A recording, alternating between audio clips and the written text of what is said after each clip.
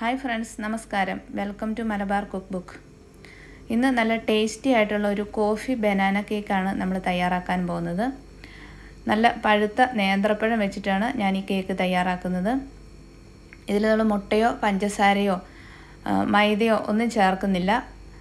വളരെ ഹെൽത്തി ആയിട്ടുള്ള ഈ കേക്ക് നമുക്ക് എങ്ങനെയാണ് തയ്യാറാക്കുന്നതെന്ന് ഒന്ന് നോക്കാം. ഒരു കപ്പ് ഗോതമ്പ് പൊടി ഇവിടെ എടുത്ത് വെച്ചിട്ടുണ്ട്. ഒരു കപ്പ് എന്ന് പറഞ്ഞാൽ ടു ഫിഫ്റ്റി എം എല്ലിന്റെ കപ്പാണ് ഗോതമ്പ് പൊടിക്ക് പകരം മൈദ യൂസ് ചെയ്യേണ്ടവർക്ക് അങ്ങനെ ചെയ്യാവുന്നതാണ്.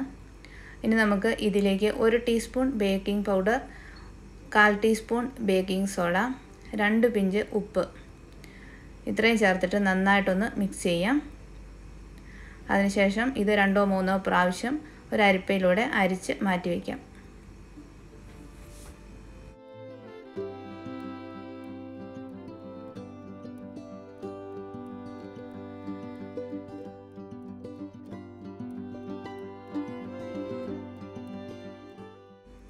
നമ്മുടെ ഡ്രൈ ഇൻഗ്രീഡിയൻസ് ഇവിടെ റെഡി ആയിട്ടുണ്ട്. ഇതിന് നമുക്കങ്ങ് മാറ്റി വയ്ക്കാം ഇതേ സമയം തന്നെ നമുക്ക് ഓവൻ സെറ്റപ്പ് പ്രീ ഹീറ്റ് ചെയ്യാൻ വയ്ക്കണം അതുപോലെ നമ്മുടെ ബേക്കിംഗ് ഡ്രൈ ഗ്രീസ് ചെയ്ത് വയ്ക്കാം അപ്പം അതെല്ലാം അവിടെ റെഡിയായി ഇനി നമുക്കൊരു മിക്സിയുടെ ജാറിലേക്ക് ഒരു ഏത്തപ്പഴം ഈ ഒരു വലിപ്പത്തിലുള്ള ഒരു ഏത്തപ്പഴം മുറിച്ച് ഇട്ടിട്ടുണ്ട്. അതുപോലെ തന്നെ ഒരു ടേബിൾ സ്പൂൺ കാപ്പിപ്പൊടി. കോഫി ബനാന കേക്ക് ആണല്ലോ. അപ്പോൾ കാപ്പിപ്പൊടി ചേർക്കാം. ഒരു ടേബിൾ സ്പൂൺ. ഇനി ഇതിലേക്ക് ഞാൻ ഒരു ടീസ്പൂൺ കൊക്കോ പൗഡർ ചേർക്കുന്നുണ്ട്. കൊക്കോ പൗഡർ ചേർക്കുമ്പോൾ നമ്മുടെ കോഫി ബനാന കേക്കിന്റെ ആ ടേസ്റ്റ് ഒന്നും കൂടി ഒന്ന് എൻഹാൻസ്ഡ് ആവും. ഇത് ഓപ്ഷണലാണ്. ഇല്ല എന്നുണ്ടെങ്കിൽ ചേർക്കട്ട മധുരത്തിന് വേണ്ടിയിട്ട് നമ്മൾ പഞ്ചസാരയല്ല ചേർക്കുന്നത്. വെള്ളം ഉരുക്കിയതാണ്. വെള്ളം ഉരുക്കിയത് അരക്കപ്പ് ചേർത്തിട്ടുണ്ട്. ഒത്തിരി ലൂസായിട്ട് ഉരുക്കിയെടുക്കരുത്. കുറച്ച് തിക്കായിട്ട് തന്നെ ഉരുക്കിയെടുക്കുക. അരക്കപ്പ് എന്ന് പറഞ്ഞാൽ ഒരച്ചും ഒരച്ചിന്റെ ഒരു പകുതിയില്ല. പകുതിയിൽ കുറച്ചും കൂടി കുറവേ ഉള്ളൂ. അത്രയും കൂടെ വരുള്ളൂ ഒരു ഏകദേശം ഒരു വൺ തേർട്ടി ഗ്രാം എന്ന് പറയാം. മധുരം കൂടുതൽ വേണ്ടവർക്ക് കുറച്ചും കൂടെ ആഡ് ചെയ്യാവുന്നതാണ്. ഇതെല്ലാം കൂടെ ചേർത്തിട്ട് ഒന്ന് ബ്ലെൻഡ് ചെയ്തെടുക്കുക. ഒരു ഇരുപത് സെക്കൻഡ് ലോ സ്പീഡിൽ ബ്ലെൻഡ് ചെയ്തെടുത്താൽ മതി. അതിനുശേഷം അതിലേക്ക് കുറച്ച് നട്ട്സ് പൊടിച്ചത്. ബദാമും അണ്ടിപ്പരിപ്പും വാൽനട്ടും കൂടെ പൊടിച്ചതാണിത്. അത് ഓപ്ഷണലാണ് വേണമെങ്കിൽ ഉപയോഗിച്ചാൽ മതി. ഇല്ലെങ്കിൽ നട്ട്സ് ലാസ്റ്റിൽ ഒന്ന് ക്രഷ് ചെയ്തിട്ടാലും മതി. ഇനി ഇതിലേക്ക് സൺഫ്ലവർ ഓയിലാണ് ഒഴിച്ചത്. വൺ തേർഡ് കപ്പ് അതായത് eighty five M L sunflower ഓയിലും കൂടെ ചേർത്തിട്ടുണ്ട്. അതിനുശേഷം ഇതെല്ലാം കൂടി ഒരു തേർട്ടി സെക്കൻഡ് ലോ സ്പീഡിൽ നന്നായിട്ടൊന്ന് മിക്സിയിൽ അടിച്ചെടുക്കുക.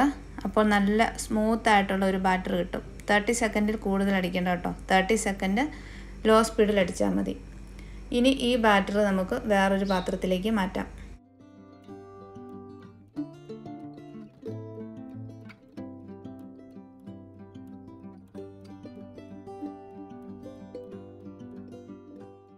നമ്മൾ നേരത്തെ തയ്യാറാക്കി വെച്ചിരിക്കുന്ന ഡ്രൈ ഇൻഗ്രീഡിയൻസ് കുറേശ്ശെ കുറേശ്ശെ ആയിട്ടിട്ട് നന്നായിട്ടൊന്ന് മിക്സ് ചെയ്ത് കൊടുക്കുക.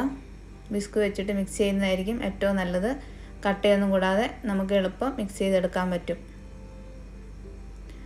ഇനി നമുക്ക് ഇതിലേക്ക് ഒരു അര കപ്പ് പാൽ ഞാനിവിടെ എടുത്ത് വെച്ചിട്ടുണ്ട്. അത് കുറേശ്ശെ കുറേശ്ശെ ആയിട്ടൊന്ന് ഒഴിച്ചിട്ട് മിക്സ് ചെയ്തെടുക്കാം. ഒന്നിച്ചൊഴിക്കണ്ട കുറച്ച് കുറച്ചായിട്ട് ഒഴിച്ചാൽ മതി.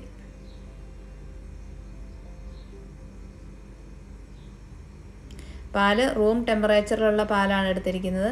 നമ്മൾ കേക്കിന് വേണ്ടി ഉപയോഗിക്കുന്ന എല്ലാ ഇൻഗ്രീഡിയൻസും റൂം ടെമ്പറേച്ചറിലുള്ളതായിരിക്കണം.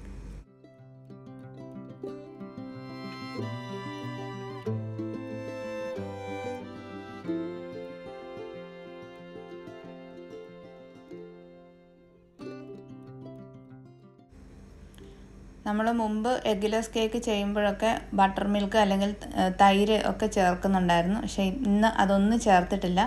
പാൽ മാത്രമേ നമ്മൾ ചേർക്കുന്നുള്ളൂ.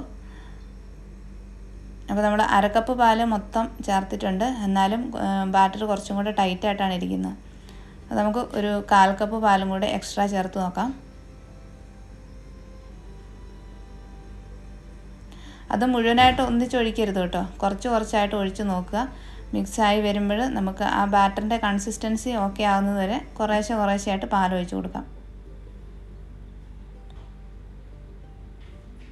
അപ്പോൾ നമ്മളൊരു അഡീഷണൽ കാൽ കപ്പ് പാലും മുഴുവൻ ചേർത്തിട്ടുണ്ട്.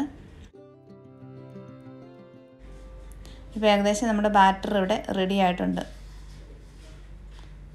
ഒരു ടീസ്പൂൺ പാൽ കൂടി ഒഴിച്ചാലും കൂടുതലാകത്തില്ല എന്ന് തോന്നുന്നു. നമുക്ക് ഒരു ടീസ്പൂൺ പാലും കൂടി ചേർക്കാം.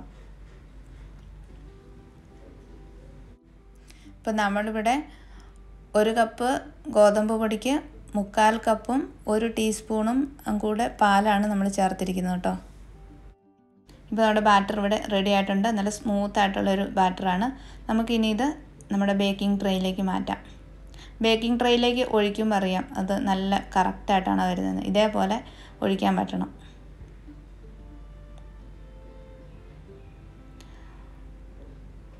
എയർ ബബിൾസ് ഒന്നും ഇല്ലാതിരിക്കാൻ വേണ്ടിയിട്ട് നമുക്കൊരു സ്ക്യൂർ വെച്ചിട്ട് ഇതേപോലെ ഒന്ന് ഇളക്കി കൊടുക്കാം.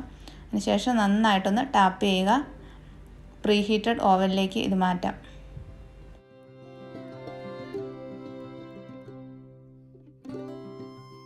ഇനി ഇത് ഓവൻ സെറ്റപ്പ് ഒന്ന് അടച്ചു വെച്ചിട്ട് നമുക്കൊരു കേക്ക് ബേക്ക് ആകുന്നതുവരെ വെയിറ്റ് ചെയ്യാം. ഒരു മണിക്കൂർ എടുത്തു ഈ കേക്ക് ബേക്ക് ആകാനായിട്ട്. അരമണിക്കൂർ കഴിഞ്ഞാൽ മാത്രമേ നമ്മൾ തുറന്നു നോക്കാവുള്ളൂ. അല്ല ഇടയ്ക്കിടയ്ക്ക് തുറന്ന് നോക്കി കഴിഞ്ഞാൽ കേക്കിന്റെ നടുഭാഗം കുഴിഞ്ഞു പോകും ഇപ്പം ഏകദേശം ഒരു മണിക്കൂർ കഴിഞ്ഞു. ഒരു നാൽപ്പത്തഞ്ച് മിനിറ്റ് ആയപ്പോൾ ഞാൻ തുറന്ന് നോക്കിയായിരുന്നു. പക്ഷേ അന്നേരം വെന്തിട്ടില്ല. ഇപ്പോൾ നന്നായിട്ട് വെന്തിട്ടുണ്ട്. ഇങ്ങനെ സ്ക്യൂർ വെച്ച് കുത്തി നോക്കുമ്പോൾ അതിലൊന്നും പറ്റി പിടിക്കരുത്. ഇനി നമുക്കിത് പുറത്തേക്ക് എടുത്ത് വെച്ചിട്ട് നന്നായി തണുത്തതിന് ശേഷം വേറൊരു പാത്രത്തിലേക്ക് മാറ്റാം. ഇനി നമുക്കൊന്ന് മുറിച്ച് നോക്കാം. നല്ല സോഫ്റ്റായിട്ട് ഫ്ലഫി ആയിട്ട് പൊങ്ങി വന്നിട്ടുണ്ട്. നല്ല ഒരു കേക്കാണ്. ടെക്സ്ചറൊക്കെ നന്നായിട്ടുണ്ട്.